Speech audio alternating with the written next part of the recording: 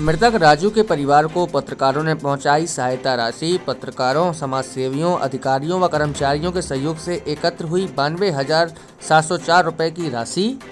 पन्ना नगर के रानीबाग में विगत दिनों विद्युत करंट से काल के गाल में समाये राम लोचन यादव उर्फ़ राजू के बारे में जब पत्रकारों को पता चला कि मृतक की पाँच छोटी छोटी बेटियाँ और एक बेटा एवं लकवा ग्रस्त बुज़ुर्ग पिता हैं, परिवार की आर्थिक स्थिति काफ़ी दयनीय है।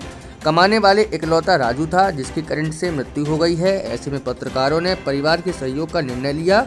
वरिष्ठ पत्रकार राकेश शर्मा, संजय सिंह राजपूत, टाइगर खान और राजेश रावत ने सोशल मीडिया में संदेश प्रसारित किया, जिसमें पत्रकारों, समाजसेवियों, गणमान्य नागरिकों और अधिकारी कर्मचारियों ने मदद के लिए हाथ बढ़ाना शुरू किया।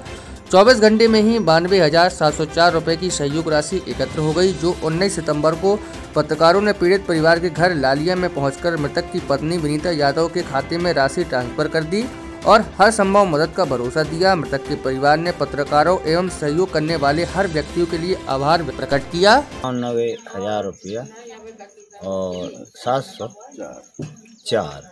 हमको, आपकी धन्यवाद। समाज के लोगों का ये दायित्व होता है जो समाज में यदि कोई दुर्घटना घटित होती है और कोई गरीब है तो उसका सहयोग करना चाहिए।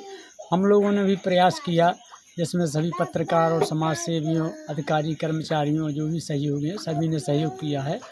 वो आज हम लोगों ने बानवे हज़ार सात सौ चालीस रुपये का जो राशि दी है, वो बहुत बड़ी राशि नहीं है, लेकिन एक गरीब परिवार के लिए, शुरुआत के लिए एक संबल के रूप में प्रदान किए हम लोगों ने। और इसके साथ ही और जो भी समाज के लोग हैं, उन्हें भी सभी को सहयोग करना चाहिए। और समाज में रहने का यही मतलब है कि जो समाज में किसी के ऊपर विपत्ति आती है तो उसमें सहयोग करना चाहिए जो समाज के लोगों का दायित्व है।